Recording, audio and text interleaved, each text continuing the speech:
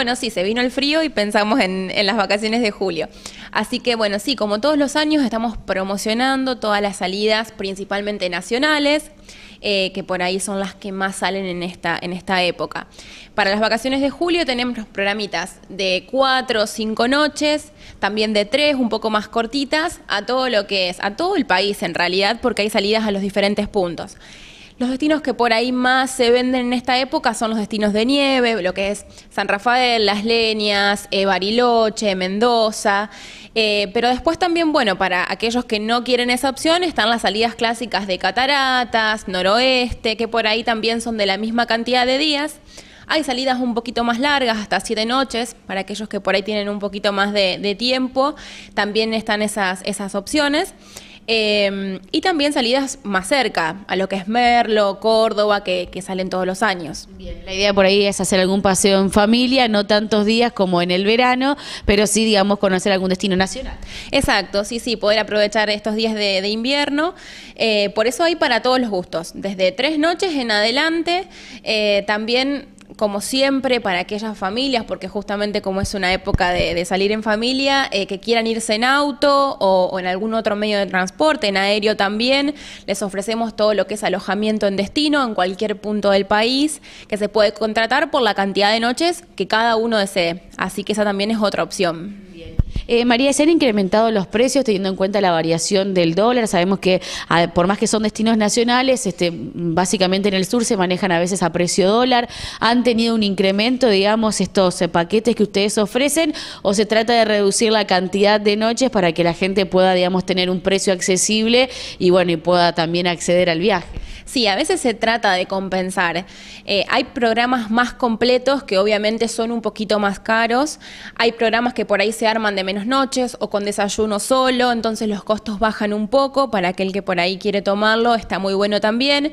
Siempre considerando que en las vacaciones de julio el precio es un poquito más caro que en otras épocas del año. Es temporada alta, así que por eso siempre sale un poquito más que si uno iría en mayo, junio, por ejemplo. Pero no es tanto el incremento, digamos, por el cambio de dólar en este sentido.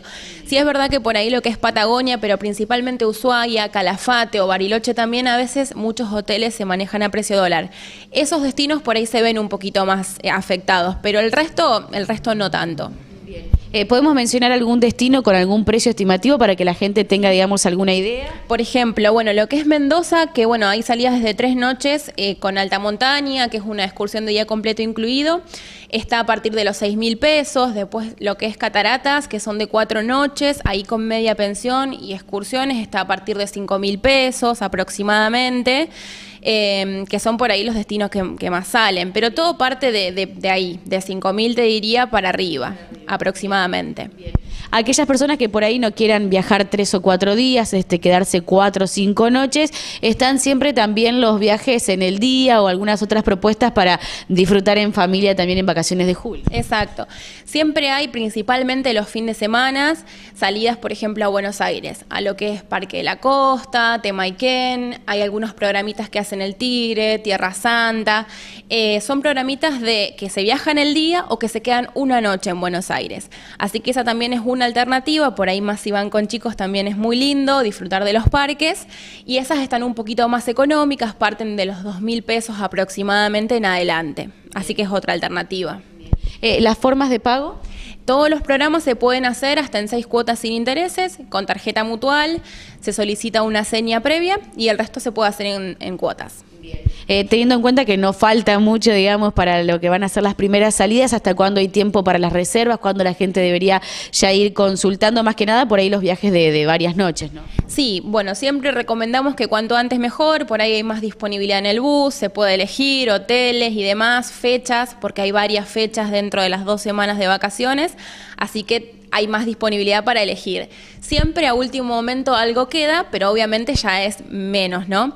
Eh, y mencionarte que para, como las propuestas son muchas, muchas fechas, varios destinos, eh, estamos subiendo todo a redes sociales, en la página web, todo lo que es Facebook, Instagram, así que aquel que por ahí quiera ver un poquito de todo lo que hay, en, ahí puede, puede acceder y verlo.